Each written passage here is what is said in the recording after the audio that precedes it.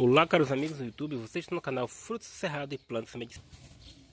Mais uma edição de mangas para vocês.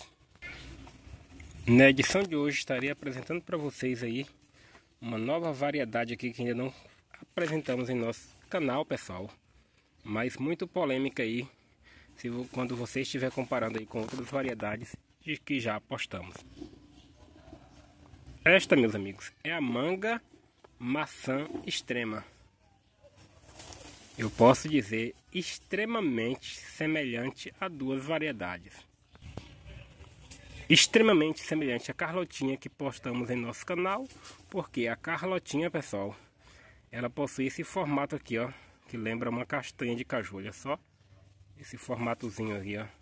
A boquinha também lembra um pouquinho a carlotinha, né, um pouco semelhante. E essa parte de cima também é um pouco semelhante à carlotinha, né, que é funda, pessoal. Mas a diferença dessa aqui para a carlotinha é que a carlotinha, pessoal, quando está madura, ela possui a casca, ela incha, que a casca fica bem fininha. Essa aqui é uma casca grossa e ela não cheira tanto como a carlotinha.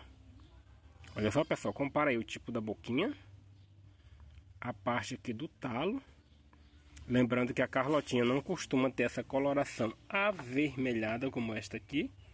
Então só isso aí já descarta que não é a Carlotinha catalogada aí do nosso canal, né? Olha só, e a Carlotinha, pessoal, quando você olha essa parte aqui de cima, ela é mais arredondada do que essa aqui. Essa aqui já é levemente achatada. Compare aí a Carlotinha.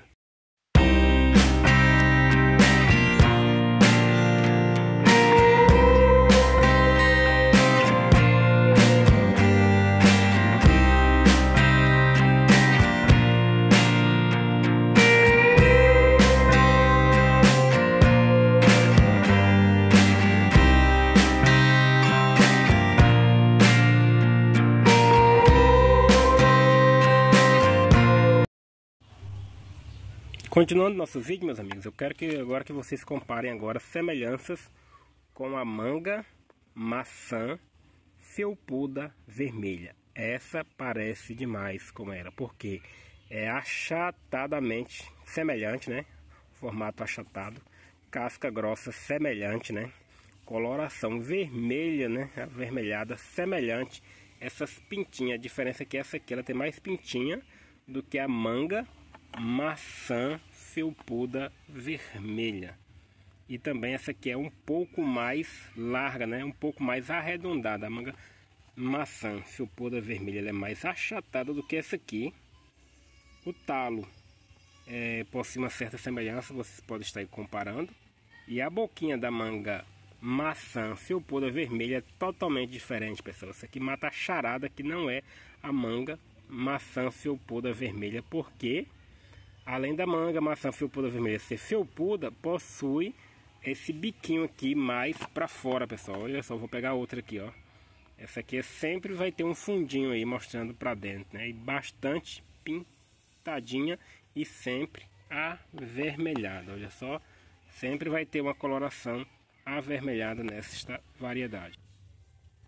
Confiro aí imagens da manga, da super semelhança da manga maçã felpuda vermelha como esta aqui.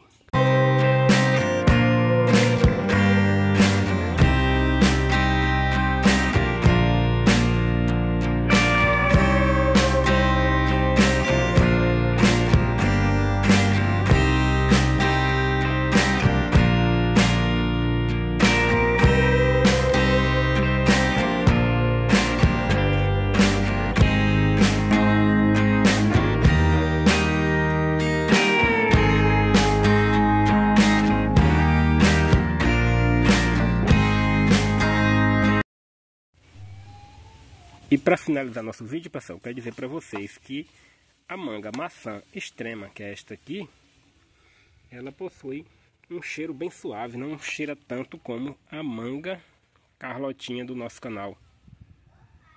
Bem suave o cheiro. Vamos agora dizer a respeito de sabor, meus amigos. Olha só.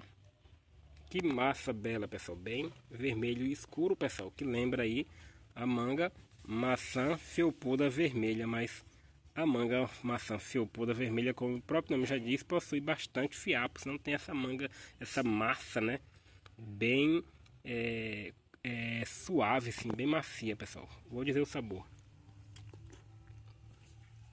Meus amigos, é um sabor tão saboroso que lembra o sabor da manga ubá. Só que menos é, doce que a manga ubá, porque a manga ubá ela é tão doce que chega a arder a língua. Para mim a manga ubá é a manga mais doce que existe. Essa manga aqui, pessoal, tem um sabor semelhante a manga ubá.